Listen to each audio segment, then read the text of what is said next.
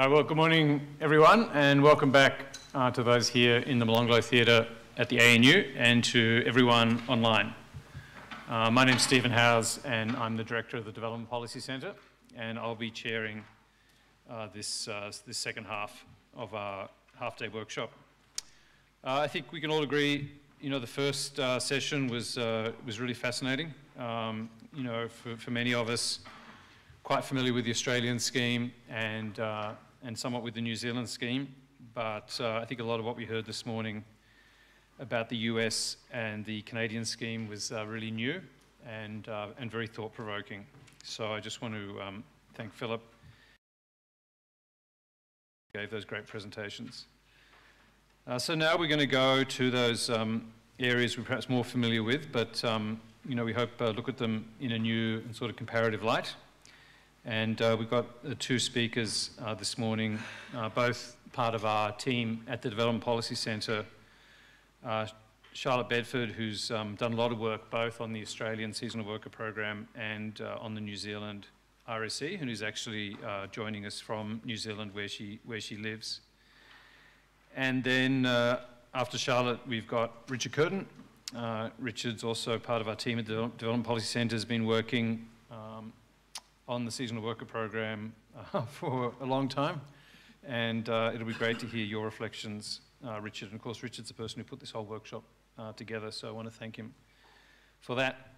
And then uh, we do have three respondents, so I'll, I'll introduce them sort of when we come to that part of the session. I'm sorry we don't have more time for Q&A. I guess we were just trying to pack in as much information as we could. And I know a number of you, there will be further opportunities for interaction um, over lunch and then in the afternoon uh, for a number of you. And I'll, I'll, make a few closing remarks at the end about how, you know, I do see this as a start of an interaction, you know, the first word, not the last word. So please take it in that spirit.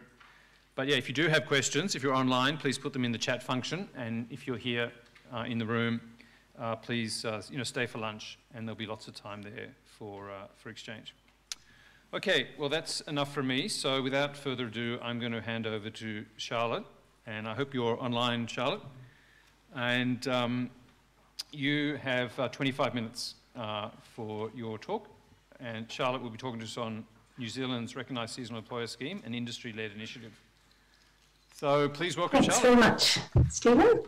Thank you for the introduction. And I'll just uh, share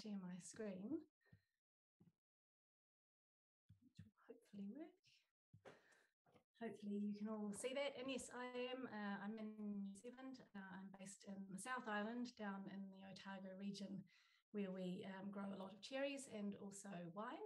Uh, and I have been involved in the RSE um, research on the RSE since the scheme uh, was introduced in 2007. So just um, a little bit on background. Uh, as I say, the scheme was implemented 2007 and it originated from a lot of co design work that was done by industry and government in the mid 2000s to address um, some quite significant seasonal labour shortages that were leading to a crisis in the profitability of our horticulture industry. For us, that is fruit, vegetables, and wine, because of an inability to get high quality fruit and veggies picked, packed, and to market in time. And while this work was going on um, by industry and government, at the same time, we had repeated requests from uh, Pacific countries for uh, greater access to the New Zealand and to the Australian uh, labour markets. So these two sort of factors coincided uh, and the RSE scheme was born. And our focus on the Pacific um, made sense given New Zealand already has very extensive uh, relationships and uh, shared knowledge with Pacific states. So the scheme involves uh, nine Pacific countries, uh, the same uh, that are involved in the uh, Australian program. And about 90% of our um, RSE arrivals are from Pacific countries. Uh, we also have a small number um, who come from Southeast Asia, around about 1,500 uh, workers a year. And those are under pre-existing employment arrangements. Uh, the RSE visa is employer specific. Uh, it's for a maximum of seven months. Um, and we do give uh, Kiribati and Tuvalu up to nine months uh, in recognition of the um, greater distance and associated travel costs for workers from those two countries. And the work is strictly seasonal, and there is no ability to transition onshore to another visa or for workers to find alternative employment. And they're not able to bring uh, family members or uh, dependents and we mainly recruit men. Um, prior to COVID, the uh, female participation rate was somewhere around 12%. Uh, and the scheme is governed by an annual cap uh, that is set at 16,000 uh, for the current year. Uh, and the cap is in place to avoid uh, displacement of New Zealand workers. So this slide here shows a diagrammatic representation of the RSE. Uh, and this was actually developed uh, for the very first evaluation that was done uh, back in 2009. Uh, and it was designed to just highlight some of the key stakeholders uh, and relationships uh, between them um, in the scheme's operation. And I'm sorry, I know the text is not particularly clear, um, but unfortunately I'm not able to change the font. So this is what we've got. Um, but I've included because um, it provides this sort of conceptualization of RSE as a system um, with the employer and the worker relationship at the heart of the scheme is um, now quite common in the thinking of policymakers and um, industry leaders um, work, working on aspects of RSE. And by seeing the scheme as a system, it emphasizes the interdependence and interconnectedness of different RSE stakeholders who work collectively for the success of the program. And it reinforces that the scheme is susceptible to change uh, and it does evolve over time. I'm not really going to spend time on implementation arrangements. Um, our uh, RSE was, uh, the design of the scheme was uh, informed by the Canadian SAWP and also um, is very similar to the Australian program. Um, I will just note that for employers, they do have to, once they have RSE accreditation, uh, they do have to apply uh, every year for their RSE workers. Uh, and they must um, obviously go through labour market testing and um, prove that there are no New Zealanders available to do the required jobs. And similar to other schemes, uh, employers are, have primary responsibility for worker welfare and they have to meet a range of uh, welfare requirements. And this includes the provision of worker accommodation. And in recent years, we've actually had um, a significant increase in purpose-built uh, RSE worker accommodation. And this is linked to a government policy that was introduced in uh, 2019 to reduce reliance on our um, low-cost residential housing market in certain regions. So between 2018 and 2020, we've had a 67% increase in purpose-built uh, beds for RSE, which is helping to mitigate some of those pressures on the um, domestic housing market. The scheme is heavily uh, regulated and very closely monitored. We have a range of stakeholders uh, that support employers and workers in New Zealand and monitor compliance. And we've had some recent policy changes. Um, now uh, workers must be paid the living wage, which is higher than uh, the our national minimum wage. And employers must now guarantee 30 hours of work a week every week, um, we used to allow an averaging of 30 hours over the duration of the contract, but that has um, been removed. And while workers can't switch employers, uh, the scheme has always allowed employers to uh, share workers with others through formal sharing arrangements. And these, uh, there's widespread use of um, joint ATRs uh, within the program. And finally, I'd just note, obviously, RSE is only one component of our total seasonal workforce. Uh, New Zealanders are a key part and um, as well as other overseas labour such as backpackers and international students. And in some regions, um, backpackers actually make up a more important, um, larger share of the seasonal workforce than RSE. Um, but RSE has become the core seasonal workforce because of the guaranteed and reliable supply of RSE labour.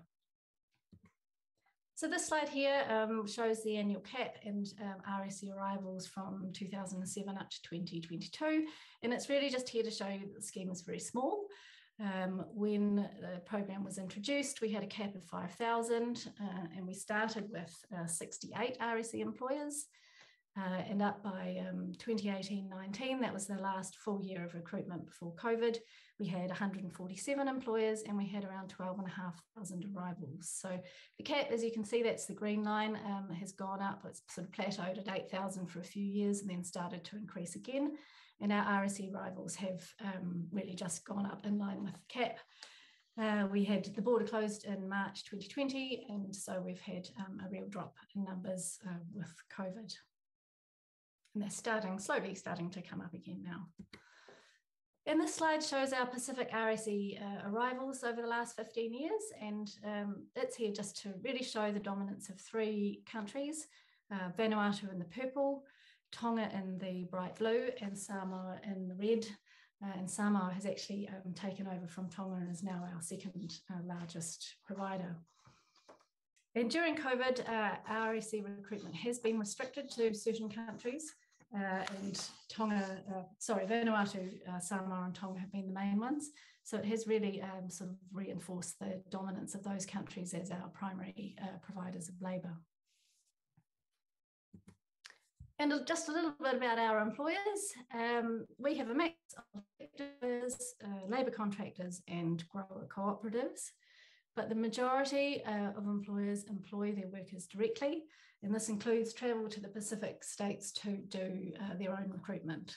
And our RSE, who has uh, over 100 workers, actually has a permanent presence in Vanuatu to handle their um, RSE recruitment.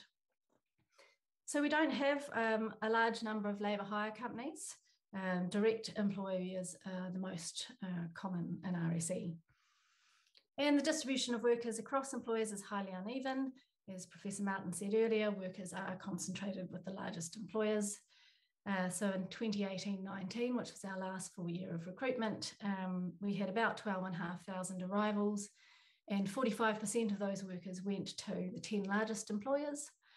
Um, but we actually have a lot of very small um, employers in the scheme as well who um, each recruit fewer than 20 workers um, a year. And as I mentioned before, there's a lot of uh, sharing of workers between employers under formal sharing arrangements. Uh, and one of the, possibly one of the distinctive features of RSE is our annual RSE survey, which is designed to uh, find out how the scheme is um, meeting growers' needs. And that survey started in 2008, and it covers a range of topics, um, including recruitment, um, perceptions of workers' behaviour um, and of their performance, and changes in business practices and impacts of the scheme on uh, business investment strategies.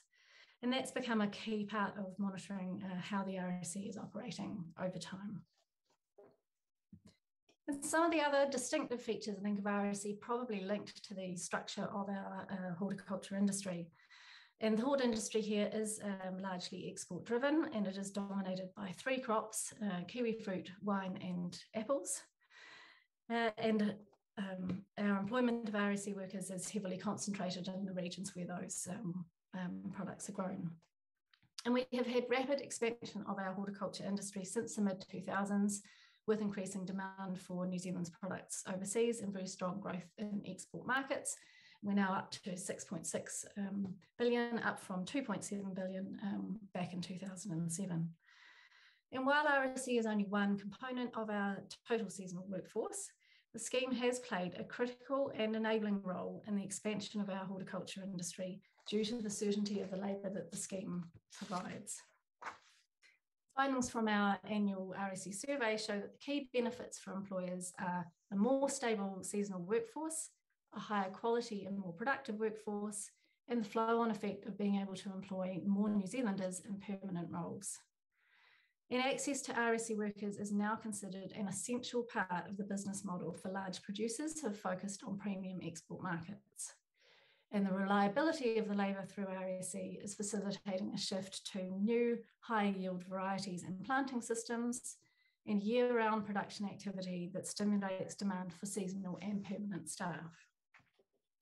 So industry has always had a very strong voice in RSE um, as I mentioned, the scheme was co-designed by industry and government, and that was really to address some uh, structural problems in the horticulture industry that were linked to a low wage, low productivity and low investment cycle and associated shortages of reliable seasonal labour. So prior to the scheme's introduction, we had about 17,000 um, people working illegally in horticulture. But as part of the background to the scheme, um, major efforts were made by industry to sort of clean up grower practices and reduce this reliance on uh, casual labour under illegal conditions. And over the past 10 to 15 years, as our horticulture industry has become increasingly export focused, growers have had to pay more attention to requirements for socially sustainable production to meet international consumer demands. So as part of that, for New Zealand producers, third-party certification, mainly via Global Gap, is now a key part of access to our export markets. And Global Gap comes with regular auditing requirements, and if any evidence is found of poor employment practices or any form of worker exploitation, either in the grower's enterprise or anywhere in the supply chain, then they risk losing access to lucrative export markets. So this third-party certification has played a very significant role in raising industry-wide standards um, for employment standards, conditions, and for compliance, not just for RSE, but for non-RSE farms as well. And in particular, I think it helps mitigate the use of illegal labour because for growers, the risks to accreditation are simply too great. And while Australia, I think, is tackling some issues at the moment um, with worker absconding, or what I think is now termed disengagement from the scheme, it isn't something that's really been uh, an issue for RSE. And I think that is partly due to the fact there's no incentive for workers to abscond because they won't find work elsewhere on farms outside of RSE. And our annual RSE conference uh, is an important feature of the scheme. This is organised by industry uh, and is always very well attended by RSE employers, as well as New Zealand and Pacific government officials and a wide range of RSE stakeholders. And the conference is a very important vehicle for building coherence and consistency in interaction between growers, policymakers, and other uh, stakeholders in the RSE system and it plays a major role in building what I think is uh, has become a rather distinctive RS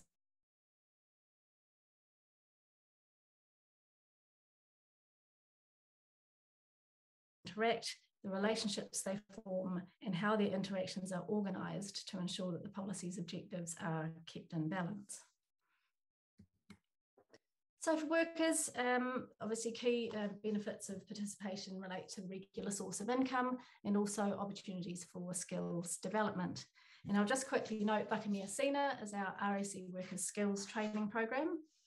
Uh, that offers a range of foundation courses, but also a lot of uh, more now more advanced practical courses uh, and things like um, building, plumbing, small engine maintenance, um, and these courses are designed to um, provide workers with skills that will be transferable to their home environments. So there are the same uh, weaknesses in RSE that are inherent in other schemes, linked to the restrict, restrictive visa and uh, employment conditions, um, as well as lack of worker voice and workers not wanting to speak up um, and complain, and also some of the negative uh, social impacts that are associated with uh, regular and repeated absences from family. And while we've always had an annual uh, employer survey, uh, we've never surveyed workers on their views on the scheme, um, but that's now changing um, with uh, industry have got uh, their own initiative um, for an anonymous online uh, worker survey. And if the survey is run annually alongside the employer survey, then this will help government and industry to gather a more comprehensive picture of what and what isn't working so well with the program. So the scheme has been uh, impacted quite significantly during uh, COVID.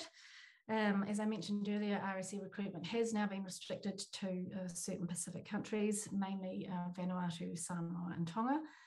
And this is changing employers' recruitment patterns, and I think it may limit the engagement of some uh, Pacific countries in RSE in uh, future. When our border closed in March 2020, we had around about 11,000 um, RSE workers on shore, and two years later, about 25%, over to uh, 1,800 um, are still here. Um, and those are now effectively um, long-term workers.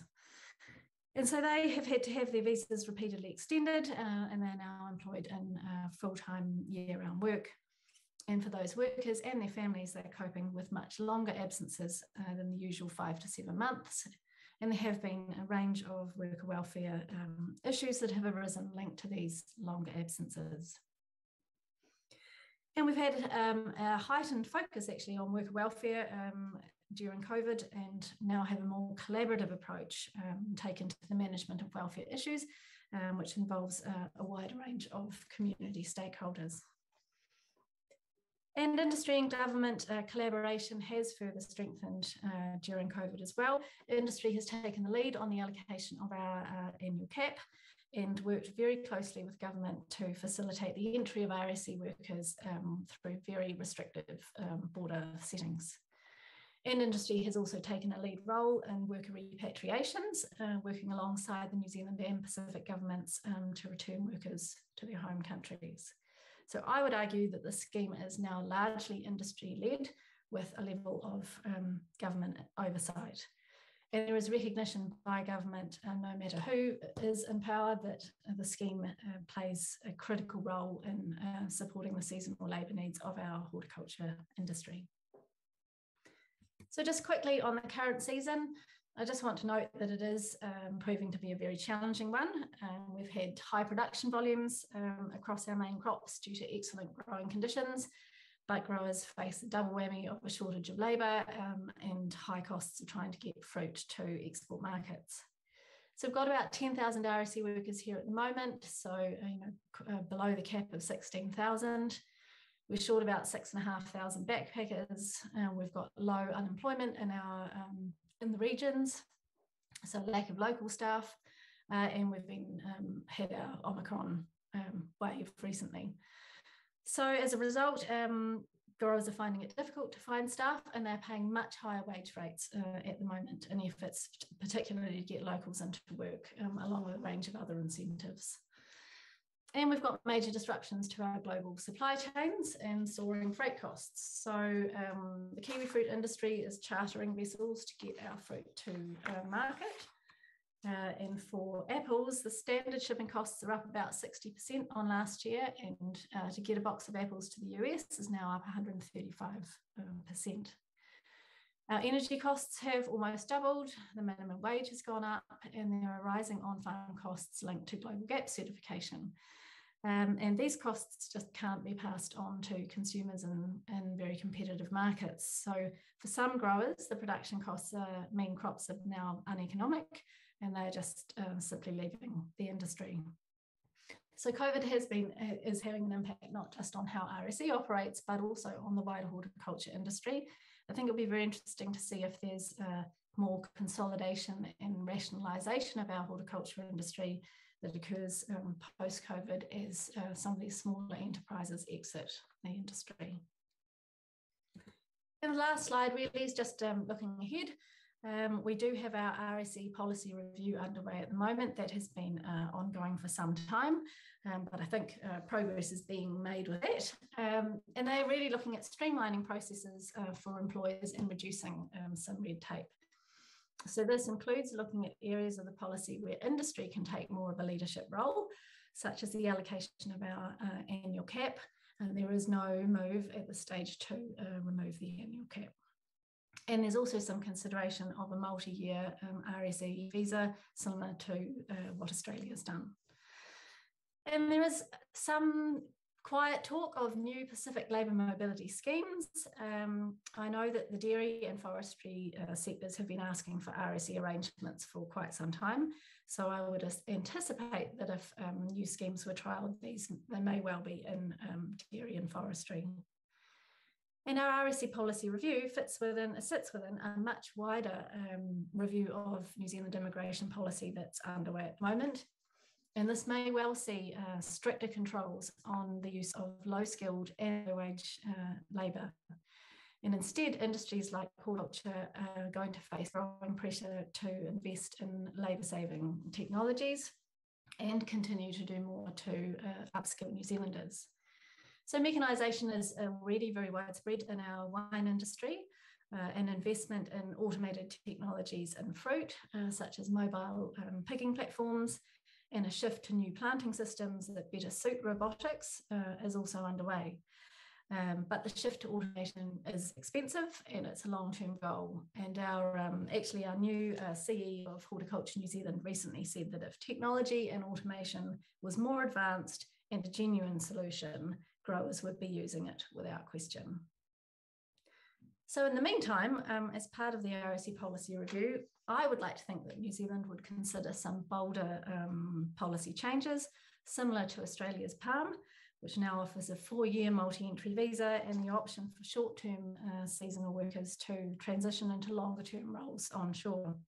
This makes Australia very, a very attractive prospect uh, for Pacific workers, and I really think uh, New Zealand should consider a similar option for our skilled uh, and experienced RSE workers who return year after year. And given the ongoing sort of impacts of COVID on RSE and on the wider um, horticulture industry, the work that's happening with our um, wider immigration review and the very significant changes really that are being implemented in Australia, I also think now would be an ideal time to have a rethink of the RSE. Um, it's an excellent opportunity to bring all of the uh, key stakeholders in the RSE system back together again uh, to collaborate in the co-design of the scheme that would be fit for purpose uh, in the post-COVID future. And that's it from me. Thank you.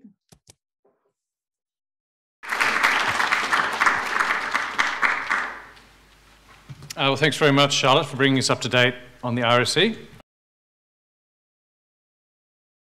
Something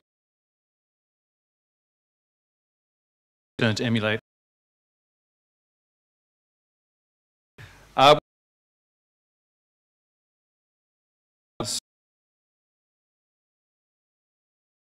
issues and challenges.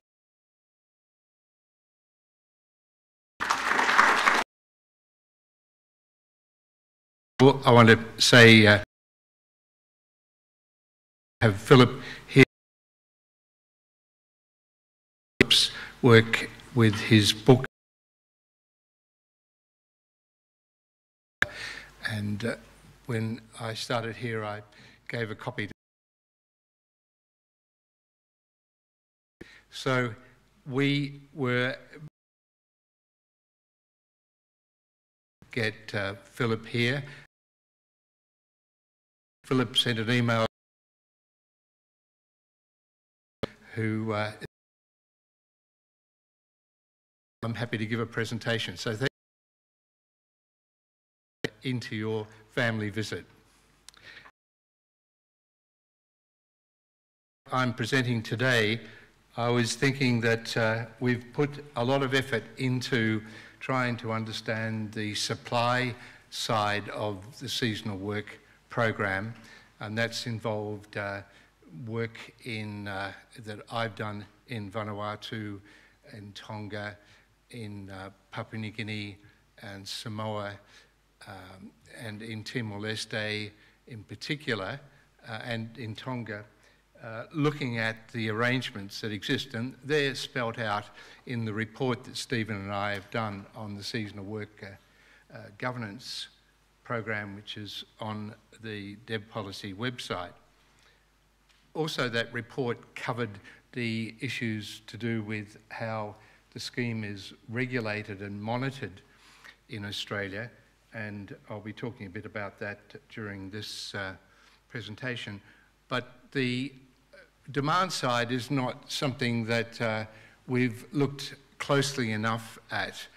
We wrote a paper four of us uh, in 2018 comparing the Australian arrangements and uh, context with the New Zealand scheme, and that, that paper is also available. But what I'm trying uh, to do today is to offer some suggestions about what the factors might be that have a deeper impact on the operation of the seasonal work program in terms of the, the economic and political arrangements that affect how employers make their decision as to what sort of uh, uh, migrant labour that they do employ. The opening question I've got is why has Australia's seasonal worker program, why isn't it much larger than it is? And I came across a, a recent article by um, John Gibson and uh, Rochelle Bailey, who have highlighted the problem of the under representation of seasonal workers in Australia compared to New Zealand when you take into account the ratio to the uh, workforce.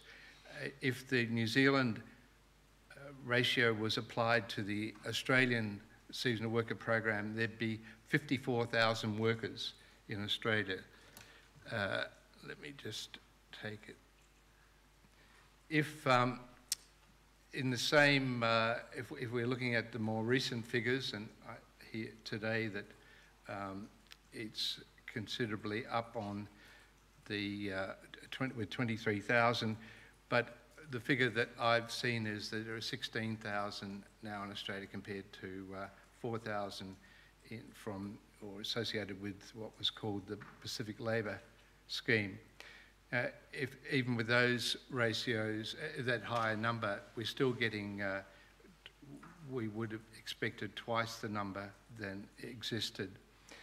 So the issue is what is, uh, uh sorry, th there's another uh, detail there, and that's the Canadian scheme. If we're talking about um, an estimated 43,900 for 2017 and applied that same ratio, to Australia, then we would have 28,000 uh, seasonal workers here compared to the 13,500 that existed for calendar year 2019. So what, what are the factors that might explain why there's been a lower take-up of the seasonal worker program? Uh, is it to do with uh, grower resistance? Uh, to do with the, the resistance to the extra monetary and transaction costs that are involved uh, compared with a cheaper, less demanding labour source in the form of backpackers. Now, to some extent, that is the obvious uh, first answer that you would provide for trying to explain it. Australia has much larger dependent on, dependence on backpackers, as we saw compared to uh, New Zealand. But the issue is why are they choosing to go with backpackers who are traditionally regarded as much more unreliable because they've got that ability to get up and, and move. Uh, the, also the issue of whether you're able to source them in the first place, particularly if you're in a, a remote location. But there's also the issue of uh, they're lacking in productivity simply because uh, they don't have the relevant uh, work experience in the crop that they're being asked to, to work on. And there are other factors here. Uh, to what extent um, growers, due to their small scale of operations, dependent on labour hire operators who can only charge a certain uh, amount because of the pressure from the growers to keep their costs low and so that means that they're under-resourced to be able to expand recruitment from SWP sending countries. Or is it to do with the geographical and seasonal spread of horticulture in Australia, which just makes it too difficult to invest, for example, in facilities, accommodation facilities uh, for seasonal workers in any one location? But it, are there a deeper set of pressures that are operating is it to do with the domestic supply chain? We know that uh, vegetable producers only 10% uh, export their crop. In case of uh, fruit and nuts is 25%. Many producers are locked into uh, contracts or um, supply commitments to the domestic, the four major supermarket chains. Are they operating does that put them into a situation where they're continually operating on limited margins with little prospect of growth that would be provided if they were accessing new markets? So let's um, look at the more general issue of um, the pressure that comes from the governance structure that imposes uh, high costs on employers for engaging SWP workers.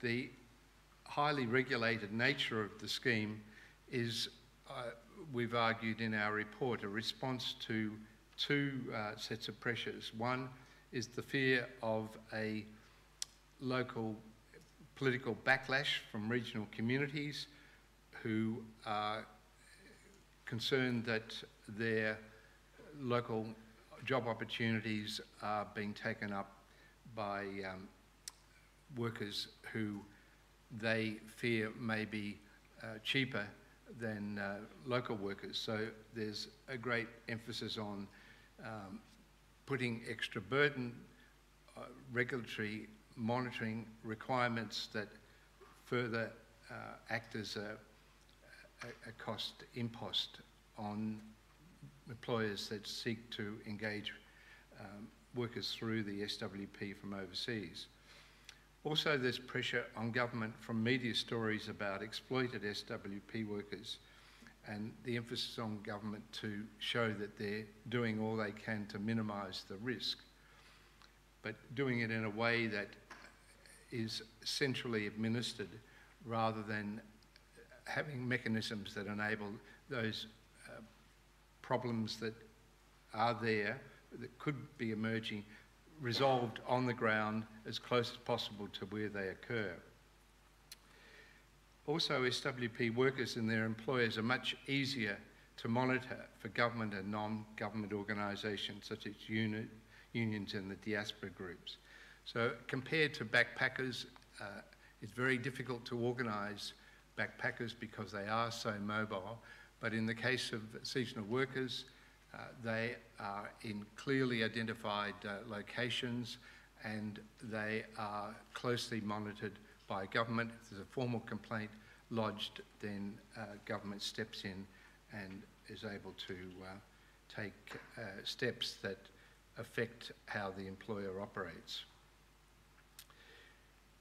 Now, the issue of uh, cost is something that's been raised by the industry, and there's an example there of a quote of what's involved from the uh, representative of AUSVEG um, Association.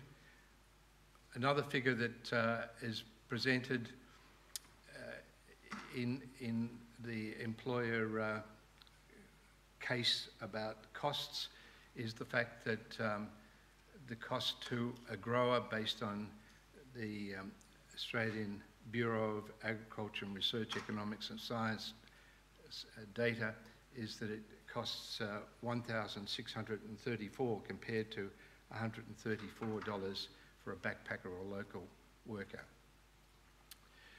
Now, if we look at the actual uh, available data, this is from a ABARES survey. The statistics on the number of seasonal workers is a underestimate and it is a reflection of the fact that the sample that they've uh, been able to draw wasn't uh, large enough to be able to pick up a relatively small group. So the, the statistics for the seasonal, Pacific seasonal workers uh, don't reflect the actual number in Australia at that time, but what they do show is the relative importance of the seasonal workers to the other source of migrant farm labour, and that is the working holiday makers. So we can see there that in, in each case uh, it's, it's uh, three or four times larger reliance on working holiday makers. And the reason why backpackers have maintained their numbers in this analysis that, that Stephen and uh, Evie, Stephen Howes and uh, Evie Sharman have done is showing the importance of the third year visa that only became available in 2018, that that was people, in, backpackers in Australia applying for that third year visa kept the backpacker numbers up. So you can see there in the uh, blue is the third year visa and uh, on top of the second year visa in 2020-21. Another interesting uh, data that's available from ABARES is looking at the division into four quartiles of the average labour on, on, the farm on a year-round um, basis. And we can see here that two quartiles, even three quartiles, have small numbers of uh, workers, and the fourth quartile has a much larger number. So basically, we're talking about farms that are small, that have relatively few employees. So what I want to do now is to talk about the uh, significance of farm size. And there is uh, a survey that ABARES carried out in 2017 and 18. In fact, these data uh, on vegetable farms refer to over three years and they're rather limited to a particular region. I think it's the irrigated areas of Sunraysia. And it's part of the difficulty of the ABS data. They, they haven't been able to focus uh, enough on the dynamics or the, the financial performance of key parts of horticulture. So there's no information available on fruit and nuts sector. It's only on, on the vegetable sector. And as I said, this data only relates to one of, of, of the particular regions. But the information shows that uh, the farm size differences were largest for the vegetable industry. And here we see the first uh, diagram is relation to output. We can see that the, the top decile has the, by far the largest output compared to the other nine deciles.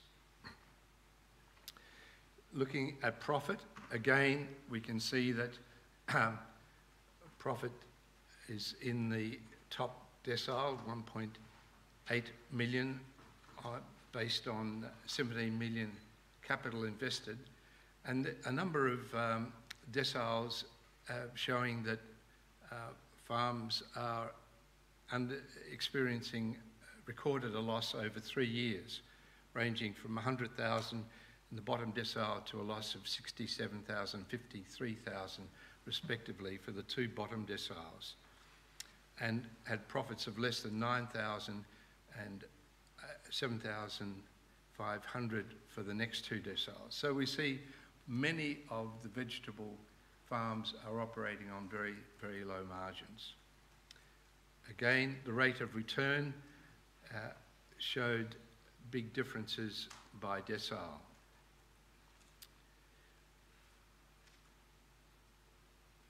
If we look at the export um, data, the horticulture excluding wine grapes is 25% of its crop exported in 2019-20. If we include uh, grapes, it rises to 28.9. Uh, nuts, very uh, strong export uh, product. Vegetables, only 11.5%. And I think that whole significance of access to exports, the uh, ability to uh, produce for markets that are expanding is, is a very important part of explaining what the conditions are that a number of growers are facing. What I've presented here is a comparison of the month of visas being granted for seasonal workers, comparing Australia with New Zealand. And the blue is Australia and the red is New Zealand. And we see for New Zealand, there's two peaks in October and in February. But in Australia, the spread is much more over the year. Uh, and that reflects the much more wider range of geographical spread that the industry has. And here is the list of um, the regions that ABARES provides. And we see if we look at the proportion of crops produced in particular states, we can see that there's a concentration uh, in particular states. Uh, there's the uh, profile of uh, where horticulture regions are located. It's the red uh, areas. And we can see they're spread right across from Cairns right down to the south and, and across to Western Australia. And that geographical spread is a, an important part of understanding what the uh, constraints are on the way uh, seasonal workers can be deployed and the role of um, labour hire operators. Also, within that, there are different types of crops, with some crops having very short seasons and other crops having much longer seasons, again, which affect how seasonal workers can be used. So, my final point here is that for further research, I think the, the key question is what type of growers turn to backpackers to meet their labour needs? Are these growers saying that the cost of labour is everything to them, despite the backpackers being unreliable, lack of experience in working productively, and this lack of experience often um, producing bad publicity about under, underpayment, particularly in relation to piece rates? Uh, despite those negative aspects, uh, growers uh, do seem to be a certain type of grower does seem to be dependent on that source of labour. So are growers stuck in a low wage, low investment, low productivity cycle that sees backpackers as the answer? My focus is basically on the historical record I'm not talking about uh, the arrangements that existed uh, under COVID, where we're now up to uh, a considerable number have increased because they have been the main source of uh, workers coming in from overseas. The issue would be what happens when uh, backpackers start returning. The comparisons with California, Canada, and New Zealand I think offer potential for real insights into the importance of farm size. In New Zealand, for example, uh, with the large number of the larger employers employing 40% of the RSE workforce, it'd be very interesting to know are those large employers the, the main exporting companies. Uh, there's also uh, the importance of accreditation standards. New Zealand has, as Charlotte has mentioned, widespread uh, ad adoption of the GlobalGAP, and I think there's also a New Zealand variation of the GlobalGAP that uh, exists as well. That doesn't seem to, uh, those industry standards are nowhere near as well established in Australia, and they're largely focused on uh, different elements of the agricultural production process, some of which focus on labour, but often um, the other aspects of the agricultural supply chain are not uh, included. So I think what I'm trying to highlight here is that we've got a lot more to do to be able to understand the characteristics of the employers. For example, uh, Charlotte mentioned that survey that is done annually, has been done uh, for the last 10, 11 years of the RSE employers. Well, we uh, don't, do not have a annual survey like that. There have been some uh, surveys done in the past, but we desperately need good information about what are the characteristics of employers that are engaging what type of workers. Thank you.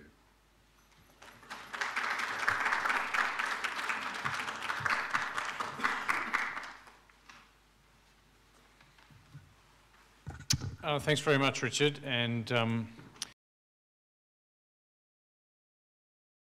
it is a it's a never-ending process. Three sort of respondents. I'll just um, come up and speak. I think you've got. Uh, so uh, we've got the executive officer for the it's the uh, employers who are government to participate Pacific Labour Scheme. So Steve will be bringing that uh, perspective, and he's been involved um, with the SWP, you know, right from the start. Uh, and then second, we have uh, Ema Vueti. Emma is the president of the Pacific Islands Council of Queensland. So she's been very involved in, uh, you could say, worker welfare issues. Um, and Ema's also uh, on the advisory council or advisory committee to the government on the uh, Pacific uh, Australia Labour Mobility Scheme. So she'll um, add that uh, invaluable perspective. And third is uh, Taylor Rundell. Uh, Taylor's a national economist for the Australia Workers Union National Office, and I'll also mention Taylor's a Crawford graduate, so very happy to have you back here, Taylor, uh, as well. And of course, the AWU has been very involved on some of those advocacy issues uh, Richard was mentioning. Um, all right, so yeah, really interested to hear what you have to say, and um, I'll invite Steve to kick off the discussion.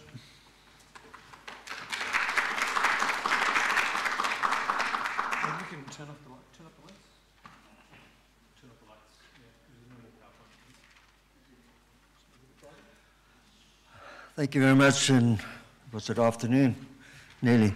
Uh, thank you for the, to the ANU for inviting us to this uh, very important event. I must be honest, I made some cryptic notes about what I heard today, um, and I'd like to share some of our thoughts. But just to go back to you, why did we form this association and, and what are some of the major benefits, I think in the times we're going in now, in the times of rapid change, um, there's a couple of things that are important. One is to really collaborate with government and all the stakeholders regarding the program. Um, it's a very good program, but we need to improve a lot of things. Um, the second thing is, is from a membership point of view, we share a lot of information, experience, and knowledge, and I think that is gold. Um, and we have, you know, and, and, when we look at membership, everyone says, why are everybody, all the AEs not members? Well, we also want to have like-minded people to drive the program and to improve the program. I think the outcome is very, the intent of our members is very clear that we want to improve uh, on an ongoing basis and make it one of the best schemes in the world. But just to reflect on some of the issues that I picked up in the discussions here today. First of all, I think we've got very similar challenges, whether you're in the US, Philip, and I was really interested in your talk, and the Canadians as well, and even the RSE scheme. I think we've got very similar challenges. But you've highlighted some very key things. One is um, that's uh, the high cost of labour that's increasing all the time and that we've got to be mindful of that. And I think the importance of forward planning. The days of flicking your finger and saying, I want 20 workers tomorrow, I, think, I think those days are over. So that's the first thing that I really picked up from the presentation. The seasonality of horticulture, I don't think a lot of people understand how important seasonality of horticulture is and how these swings happen. And when we start talking about 30 hours per week over eight weeks, this becomes a very major consideration because um, we're dealing with a lot of flex, uh, issues that go on all the time. Now, if you just take Easter, we've lost how many days? Three days, just like that, or four days in a working week. So you've got to make that up at some stage. So these are the swings, and we also have these shoulders on on peaks and troughs in horticulture. Um, I also wanted to just reflect a bit on um, COVID. Now, COVID has done two things. One is it increased the cost of bringing workers in, but one thing it did do from a positive point of view, it brought, brought everybody together where during COVID and through quarantine restrictions, which varied between states and territories, the collective effort of everybody managed to bring in a record number of seasonal workers, which, is, uh, which I think we've got to acknowledge and really support. I think these other th things that I just want to uh, mention is that the barriers for growth, I think we need to address many of the inefficiencies that we have and consistency of application of policy is a key issue. We also need to start reviewing what works well and what doesn't work and start fixing it. Those are things that are important to us as members. Um, we also want to speak, we mentioned mechanisation. Um, yes, that's a very interesting debate. And uh, the more labour costs go up, the more we're going to be forced for me into mechanisation. That's a, that's a reality. I think the other thing you mentioned was consolidation of producers, economies of scale. Very much noted, that's happening everywhere in the world. But we have consciously tried to protect the smaller growers because they're very important to our economy in, within Australia.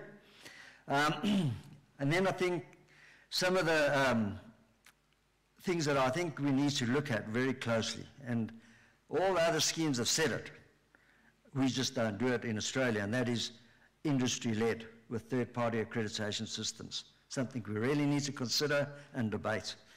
And then lastly, I just want to say collaboration and forward planning is what we need and what we encourage as the AEA and our members, and I thank you all for being here today, our members, and for everybody else, and thank you for the opportunity to summarise our thoughts. Thank you.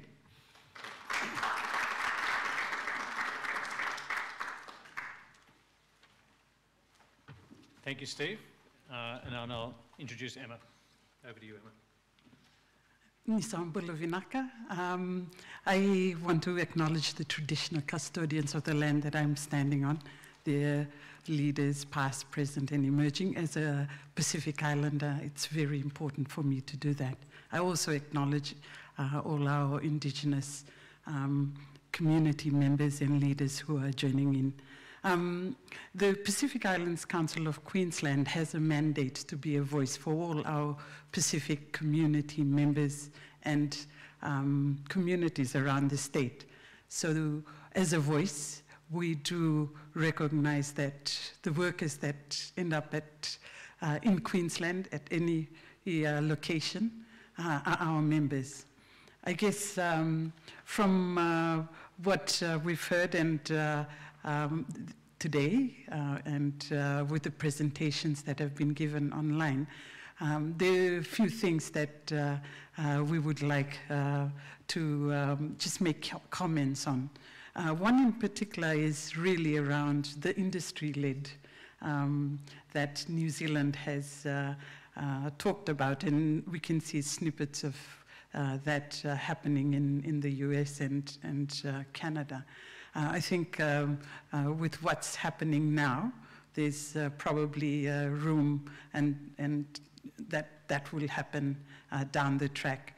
There's also the collaborations that has taken place um, thanks to COVID that uh, we've all had to come together. Uh, before COVID, everyone was doing their own thing, and um, we have now um, uh, come to know who's doing what in what space. Um, in the uh, comments that we have uh, for the uh, uh last presentation, one of the areas that uh, I'd like to bring up is the importance of the church. Um, we left out uh, the, the work that the church has been doing.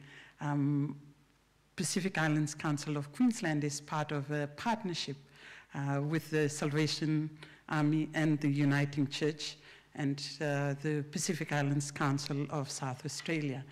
Um, we are so very grateful for the churches who have been um, advocating for our workers, uh, even well before uh, we're, we, we're talking about seasonal workers. The churches have the infrastructure, the capability to support uh, migrant workers. And I think it's very important that uh, we bring them in um, in the space of the community connections. We're so very grateful. Um, and I'll give you an example. We do deal with quite a number of our workers who are disengaged. Um, some uh, uh, not their fault, but we've been ending up with the support that's needed for them. Um, our organization isn't funded for those types of support. Um, so what we do normally do as diaspora is uh, look at services uh, that are around us. Um, and thanks to the churches, uh, some of them have been able to help our workers. Uh, it's quite important that uh, they are continuously uh, part of this conversation. And I'm so very grateful for, for people like Mark, those of you who know, who's always um, out there helping our workers. There's also the importance of, um, and I'll just address the um, elephant in the room. We're, we're seeing quite a lot of undocumented workers who have come through this, this program. Um, the reason why I'm raising this is uh, um, when something not so nice happen happens to the undocumented worker, the, the community has to fork out. Um, for example, if someone dies, um, and whether that person is, um, um you know, Fijian or Tongan, um, the, the Pacific Islander communities have to raise money to send that uh, person across to where they've come from.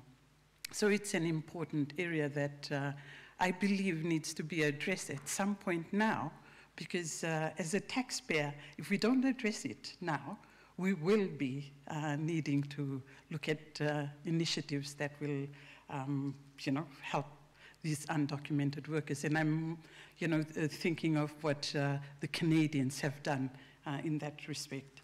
Um, apart from that, it's been such a, a blessing uh, just to have to work with um, each of you.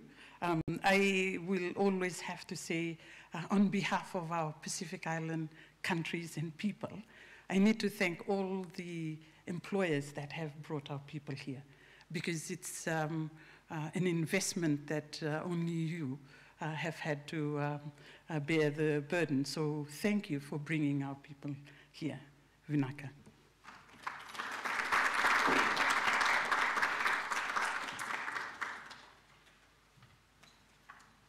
Uh, Vinaka, Ema, bringing that perspective to our proceedings. And finally, Taylor. Welcome back to Crawford.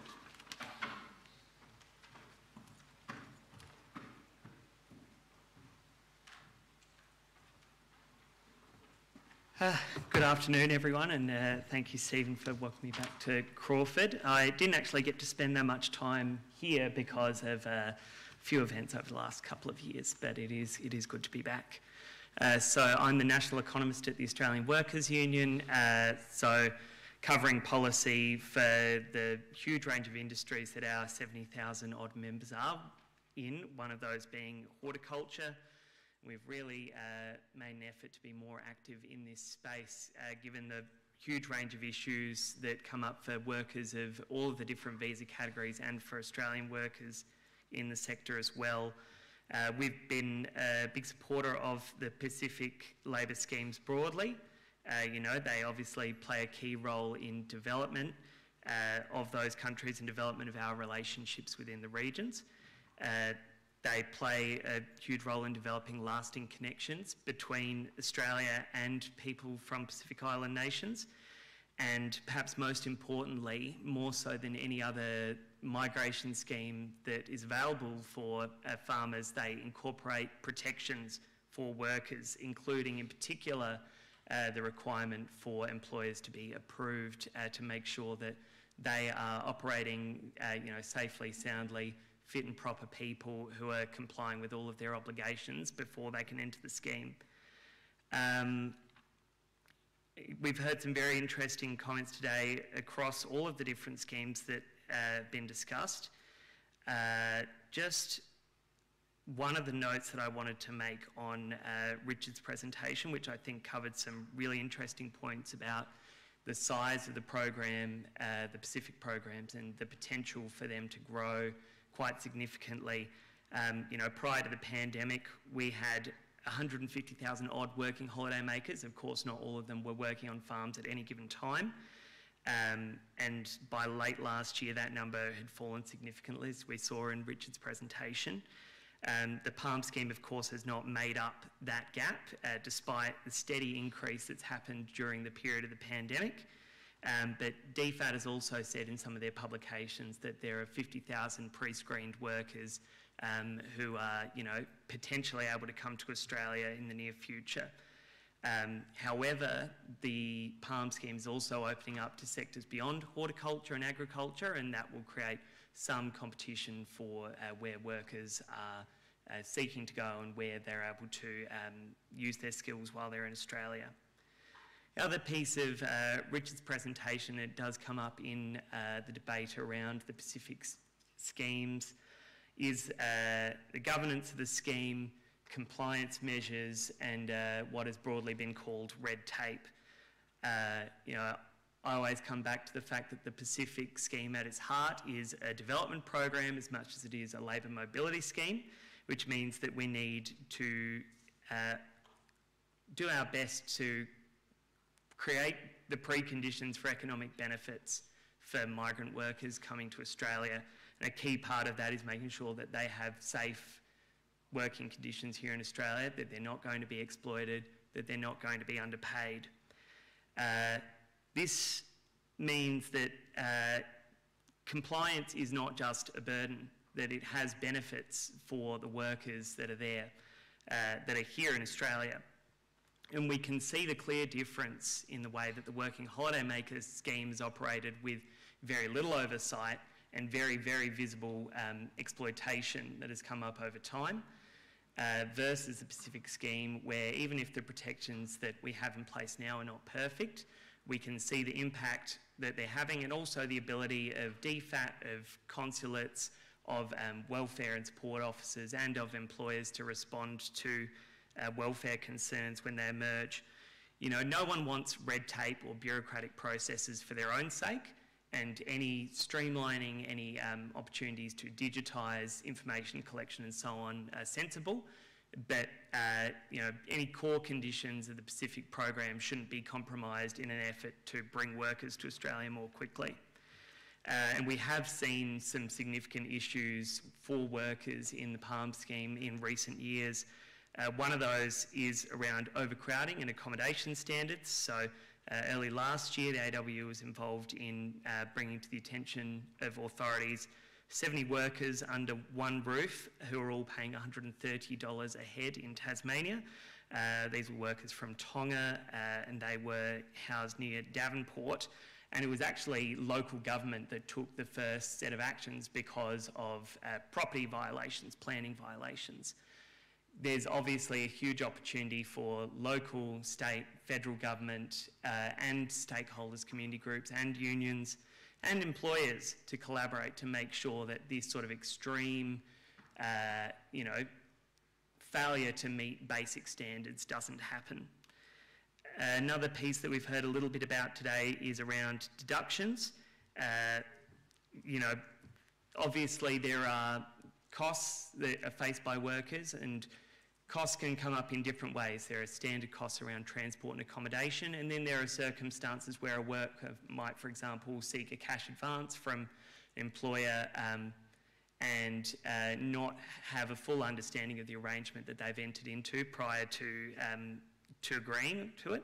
I note from the discussions before that we've had about the American and Canadian schemes that transport costs are incorporated. Uh, that is a notable difference to the Australian scheme, and I think that minimising some of the um, opportunities where deductions uh, become more complex or create concerns would be a potential avenue to increase transparency and reduce the complexity of, uh, of the Australian schemes. Uh, portability between employers, uh, whether they're approved or uh, temporary secondments to non-approved employers. Uh, these are issues that have been discussed vigorously, uh, the PALM Advisory Committee and among the many people in the room here, um, the complaints handling process and grievance management for uh, workers. You know, there's many avenues that those grievances can be raised, but it's not necessarily clear to workers which one is going to be the most effective to resolve a problem, whether it's dealing directly with an employer, dealing with um, welfare and support officers, dealing with their home country consulate and so on um, you know, recognising that for many workers this is uh, one of their first experiences engaging in a sort of formal employer-employee arrangement. Uh, and I guess uh, one of the concerns that we have is that the conditions um, that exist, if they're not applied uniformly across the broader horticulture sector, there's really a potential for employers who are not doing the right thing to undermine the viability of the scheme as a whole. Uh, you know, we would like to see uniform standards to avoid all of these questions about working holiday makers being cheaper to hire, about the need for uh, agriculture visas with lower levels of protection. There have been uh, 10 reports by our count since 2016 that have described exploitation of workers in the uh, horticulture sector as systemic. This doesn't necessarily mean every employer is doing the wrong thing, but it means that it's enough of a problem that it's undermining the ability of uh, employers and of workers to you know, meet the needs that are being expected by law. We, uh, you know, we would want to see uh, the growth of the PALM scheme, but we would also want to limit any uh, opportunity that would undermine the scheme in terms of creating new avenues for people to arrive in Australia without the protections that exist under the PALM uh, scheme. And of course, we'd like to see uh, the conditions that are set out vigorously uh, enforced, uh, which you know hasn't always been the case and has sometimes taken some time for issues to be brought to the attention of various authorities. And of course, if uh, there isn't compliance measures or enforcement that uh, that protect workers, ultimately the costs end up falling on community organisations, NGOs like Ema's. Uh, thank you again for the opportunity to, to uh, respond to the presentation by Richard and uh, for the presentations we've heard today. Thank you.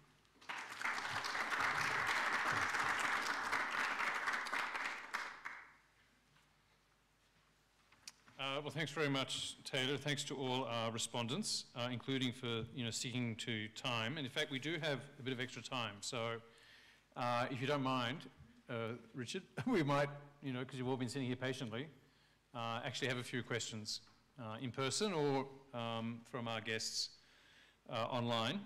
so, yeah, I'd like to invite questions, and perhaps while you're gathering your thoughts, I might just ask Philip if he'd like to make some reflections on what he's heard about um, Canada, but especially about Australia and New Zealand. So over to you, Philip.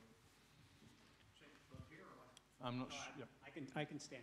Well, in, in, in sort of thinking about it, we're looking for what would be the ideal scheme. Because what we want is you want to have a competitive agricultural sector that treats people well. I mean, that's what the whole goal is.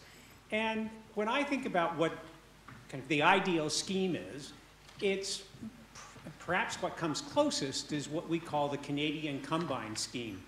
And what it does is it brings Canadian-based combining companies who move south into the center of the United States, and they combine wheat and they go from south to north with H2A guest workers, many of whom come from South Africa. They use the most modern equipment, they pay very high wages, the wheat gets combined much cheaper because it doesn't take that long in any individual farm. Uh, and because they're using the most modern equipment, the cost per bushel, whatever, is much lower. And it's a system that works and depends on the, temper- the weather differences between two countries and all that kind of things. Okay, so that's highly mechanized. They can afford to fly people in from halfway around the world. And the question is, how close could you take that model to what's really repetitive work, picking fruits and vegetables? And I don't know enough about Australia, but the systems that work best that I've seen are often labor hire companies that have contracts with big farmers who in turn have big have contracts with big food service companies, restaurant chains, or supermarkets. And they, they all protect their margins. So we just did a case study of a lettuce, leafy greens, so it's lettuce, broccoli, and stuff. 30,000 acres, so what is that, 12,000 hectares or something like that. And they build in margins. They say, we know we're going to be in business 52 weeks a year. Some weeks, the price is going to be way up because of weather or something. Sometimes, to, but you're going to, we're going to build in a margin that we can operate lawfully and pay people correctly. And so we're not like, I mean, what Richard said is correct. The United States has 2 million farms. And if you look at income taxes, 1.7 million lose money year after year after year after year. Okay, what are they? They're small operations.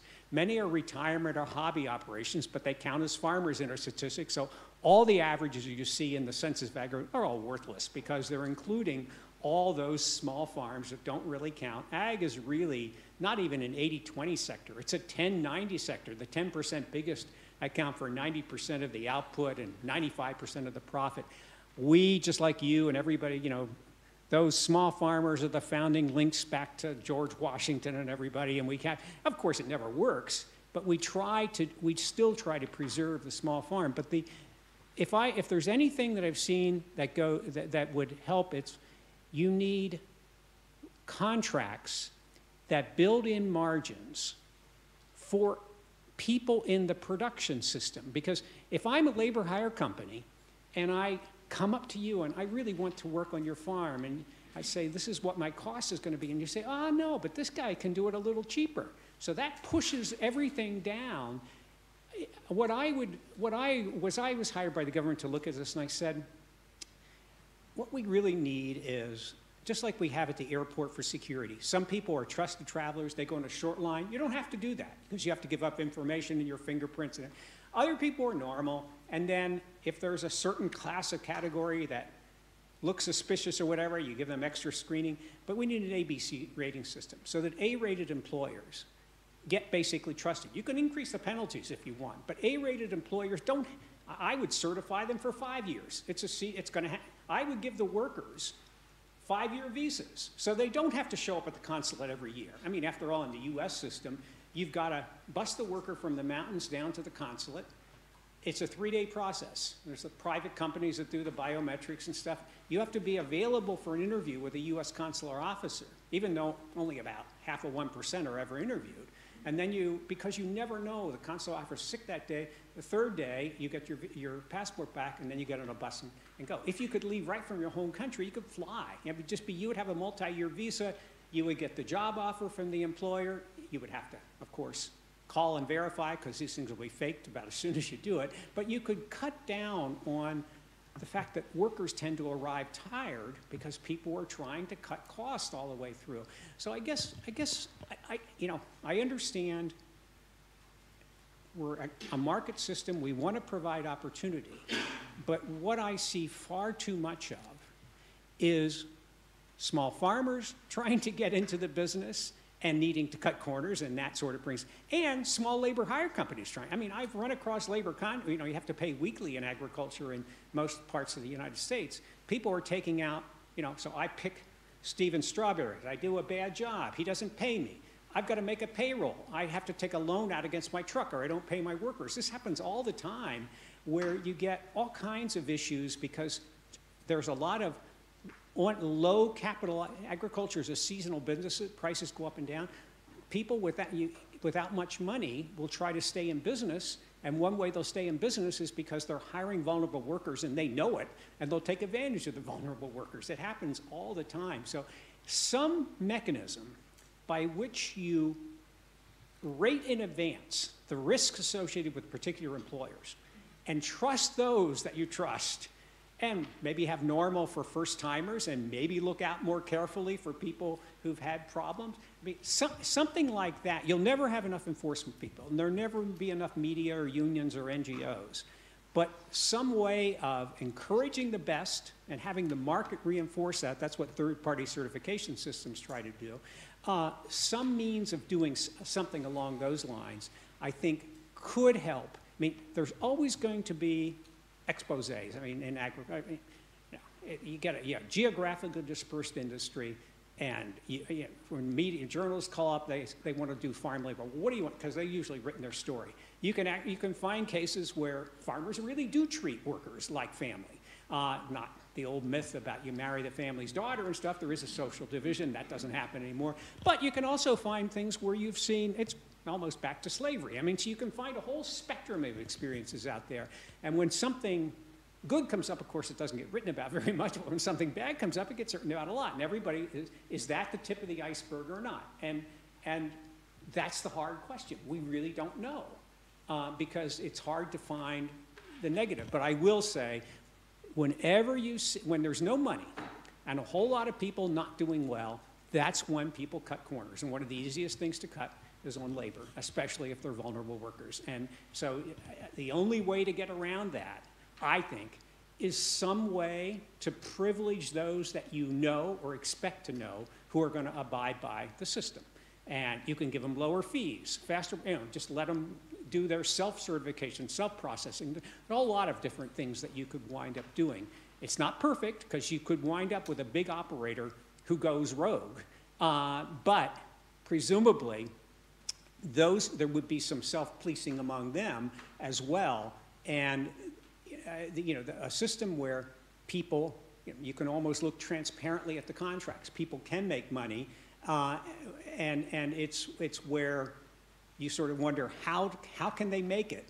It's usually you'll find out that they're cheating on something. I mean, I gave you the example already. I mean, there's so many farmers who don't pay, so many small farmers who don't pay required payroll taxes because they can tell the workers never ever apply. And therefore, the workers aren't going to apply, and therefore the farmer can get away without paying and save 10 or 15% on payroll, and that can be significant. So that's my big suggestion when you think about it, the ideal system is it's fine to be industry-led and stuff, but have everybody buy into the notion that among all those who are going to participate, there's a subgroup that are going to be like the trusted travelers. And you're going to trust them because they are going to be expected to uphold all the rules and regulations. Hopefully, they gain economies of scale and get higher productivity so that they can offset the cost of compliance compared to the others and provide that insurance to their clients that they are going to be above board. That's my sense of it. Great. All right, thanks, Philip, for those reflections. Yeah, we do have a bit of time, and you could ask, uh, yeah, let's go, please go ahead, Kerry, right? Just introduce yourselves.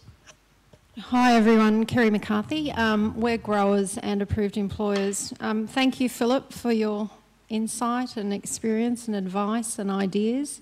Um, a huge issue in Australia is illegal labour, cash labour. It's um, affecting the farm gate prices. Um, as we've said, we farmers are price takers, and to be ethical employers is actually costing us a lot in production costs. We um, collectively don't believe the Australian government is doing enough to stamp out illegal employment in Australia. Um, very interesting to hear the report on the RSE scheme and saying that um, the option to abscond is no longer an enticement because there is no other employment for them. So I would hand that over to Stephen and Richard to investigate why the RSE scheme has done so well in stamping out illegal labour in New Zealand because that's something that's very important to Australia. The PALM program will never reach its full potential until illegal labour is stamped out in Australia. Thank you. Good. Thanks, Kerry. We'll take that as a comment and we'll move over this side.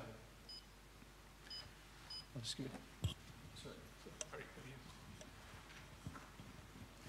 Thank you. Um, hi, I'm Grace from the Australian Strategic Policy Institute. Um, my team's looking at modern slavery and human trafficking via sort of the lens of transnational, serious, and organised crime, and we're focusing on agricultural visas. So I suppose I want to ask um, how often do complaints about those kinds of issues directly to employers or to DFAT staff or to unions or to country consulates, how often are those complaints referred to police and is there a good relationship with law enforcement and how often does that progress to prosecution? Um, I don't know who would be best right. placed to answer that.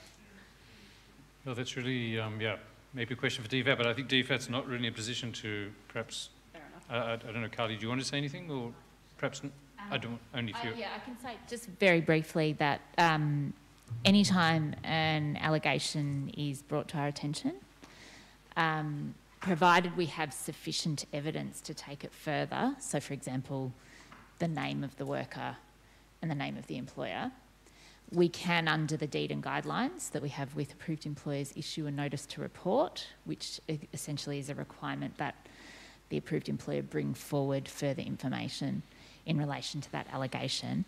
I don't actually have the statistics on me. I'm sorry. I, I mean, we could we could look at that, but certainly where there is evidence of a breach of, a of the Fair Work Act, we would refer that immediately to the Fair Work Ombudsman for further investigation. Um, and where there is evidence of a crime, we would absolutely refer that to the appropriate authority as well. I, do, I don't know how often that's actually happened. Uh, we do have those statistics. I just don't have them handy. I'm sorry. Thanks, Carly. Uh, other questions or comments?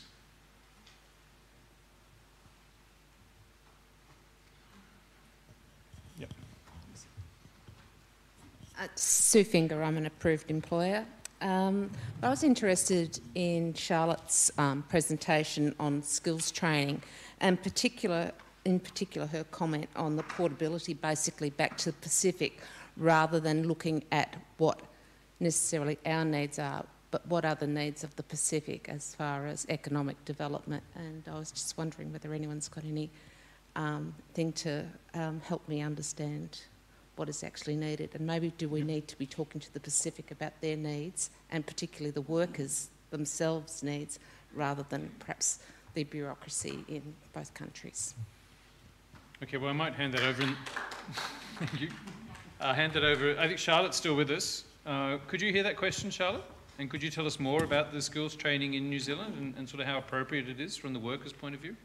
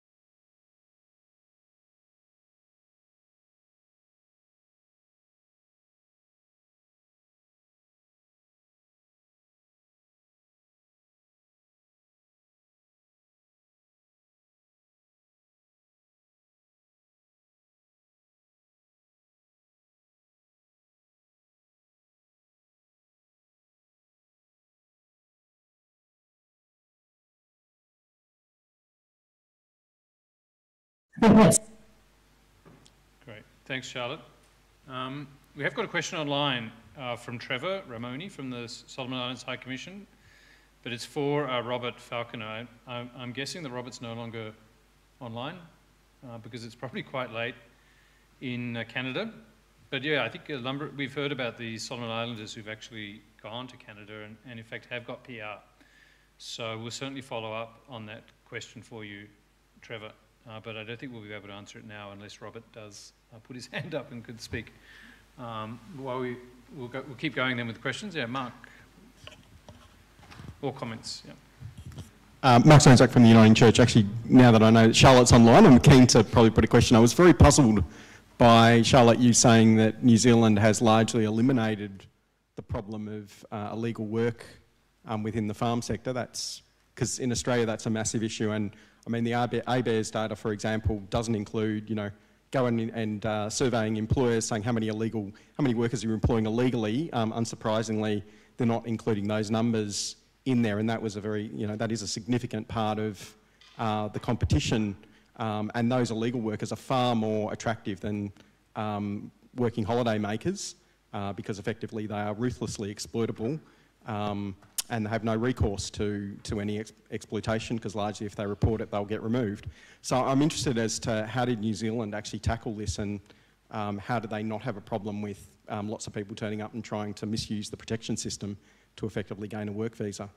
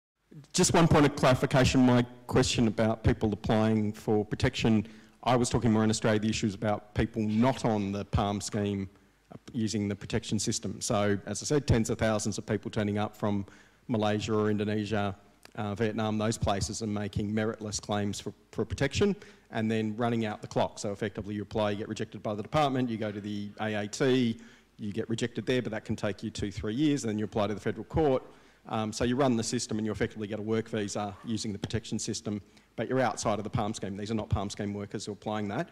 And we see a lot of those, I mean, the thousands of those workers, those people ending up on farms. But I just said they're not been working illegally properly. Right? Well, if they're on a protection, yeah, if they've got a protection, they're not working illegally, but you also see a lot, you see a lot on tourist visas who haven't used the protection system as well.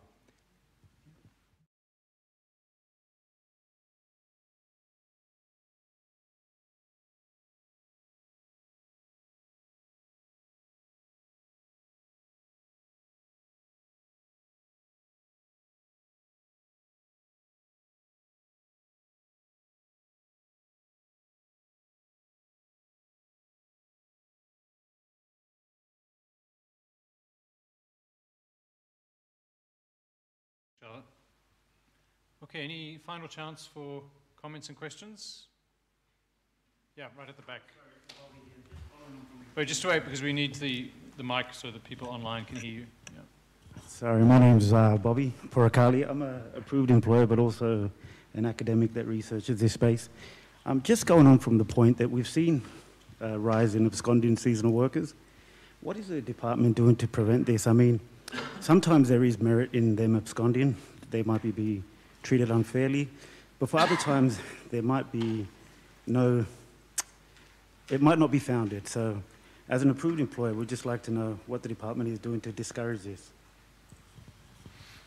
Yeah, I think this might not be the forum to um, ask questions to the department, um, although you're welcome to speak, Carly. But um, yeah, I don't know, would um, anyone else, that's a, a big issue.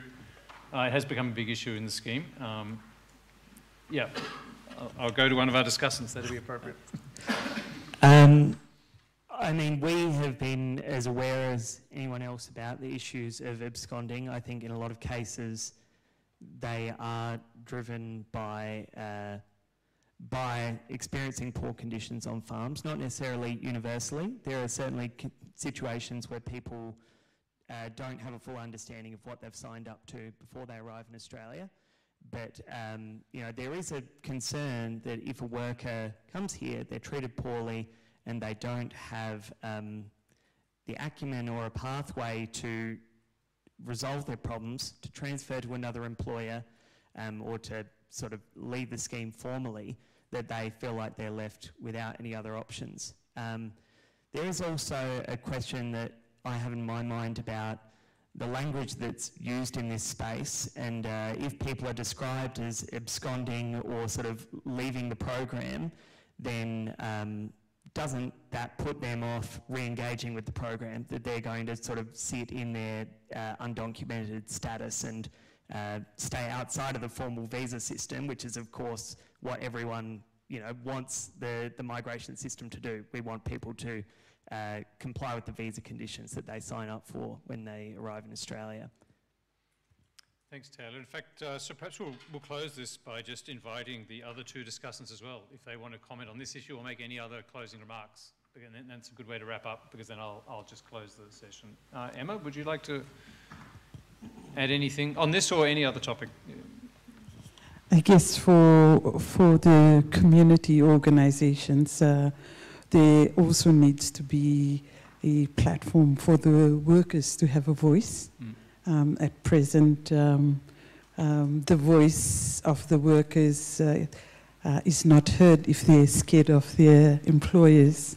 Um, so that's one of the areas that uh, uh, we would welcome, even the Approved Employers Association, if you, you would help us set something up because um, the workers tend to tell us that uh, they're scared to speak.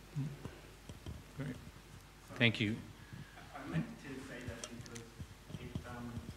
uh, them up for exploitation. Right. So it's just a major issue that, from both sides of the perspective, not only the food employee, but the welfare of the worker as well. So no, I, that's I fine. Thanks, Bobby. necessarily clarify that. Good. Now, we are just running out of time, but is, it's a definitely big issue. Steve, I'll invite you to.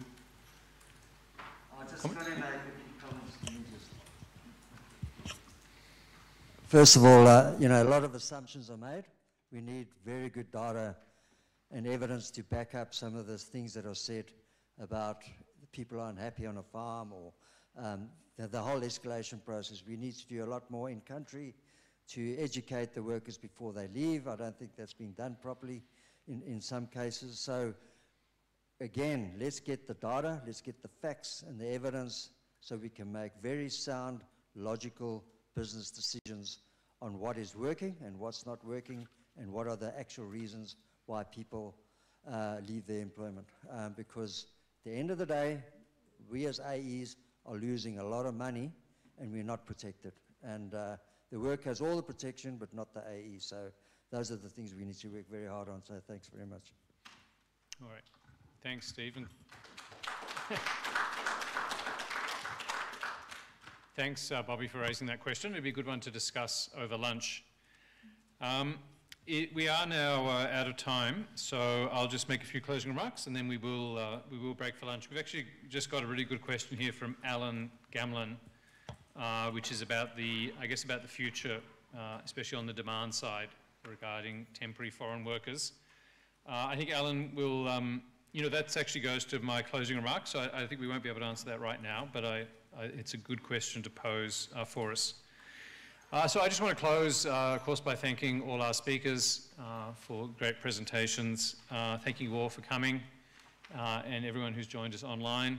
I want to thank Richard for organising this and Ari, who you can see is working very hard, and Beth to put this workshop together, and of course our um, audio and video crew for, for making it all happen. And it went, it went pretty smoothly. These are not easy events to organise.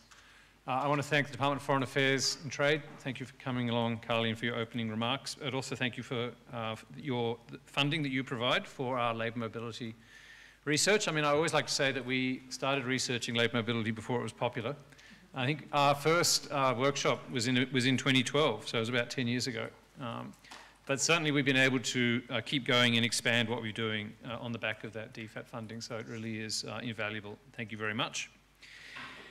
Um, yeah, I do think this uh, workshop, you know, does uh, open up or, or, mark, should mark the beginning of a new era of research for us. Um, we have done a lot of work. It's been great to have Charlotte as part of our team.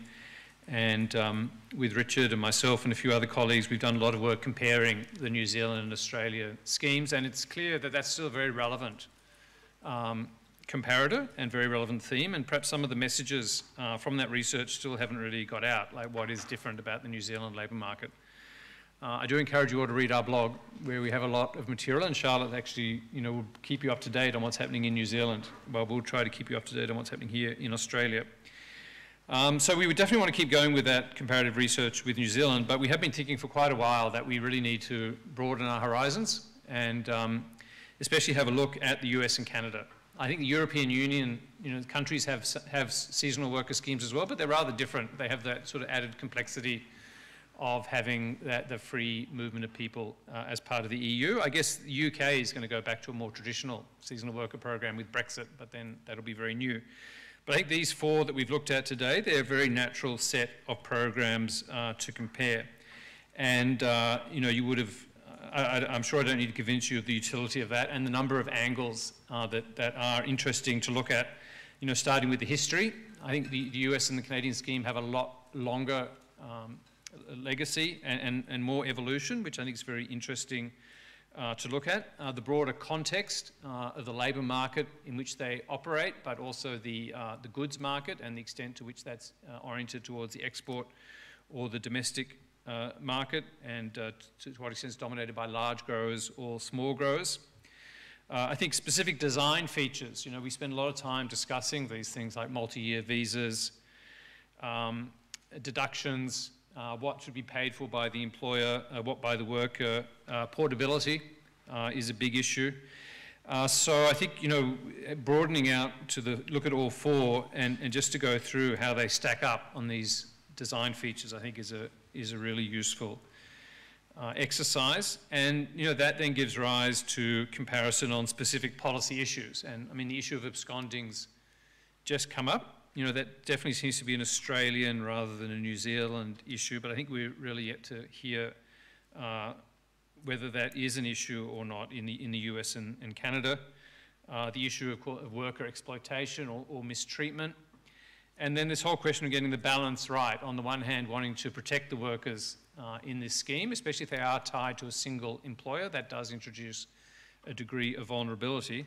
Uh, but on the other hand, uh, not weighting down the program uh, with so much regulation that uh, employers are discouraged from using it. And then they stick with other sources of labour that, in fact, are much less regulated. And so you have the sort of perverse effect that, in fact, you're you're putting in regulations to reduce exploitation, but you're going to end up increasing it uh, once you step back and look beyond the scheme. So yeah, that's the fourth issue, sort of specific policy issues. And the fifth issue is, is what is the future of all these programs? Uh, Charlotte talked about RSE sort of need, needing a, a, makeover. And Alan's questions uh, you know, really go to that. We look at the sort of the longer term trends, uh, automation, anti-immigrant political trends. It must be time to wrap up. and um, long-term contraction, yeah, whether COVID is a sort of transitory shock or actually marks a permanent change. So I think that, that was my sort of fifth set of issues. Um, and yeah, I really hope that uh, now that we've, um, you know, met Philip and we've got, you know, we've had you here, that we'll be able to continue collaboration with you. Um, and of course with Charlotte and Richard and my other colleagues. And um, that was a great presentation from Robert. So I think although Robert's gone, we'll certainly want to follow up with him. And I'd like to invite all of you if you're interested, you know, please stay in touch and, um, you know, watch out for this as a, a sort of new research project uh, that will be, or, or, that you can consider launch today. All right, so with that um, optimistic note, uh, thank you very much, everyone, once again, and please do stay and join us for lunch. Thank you.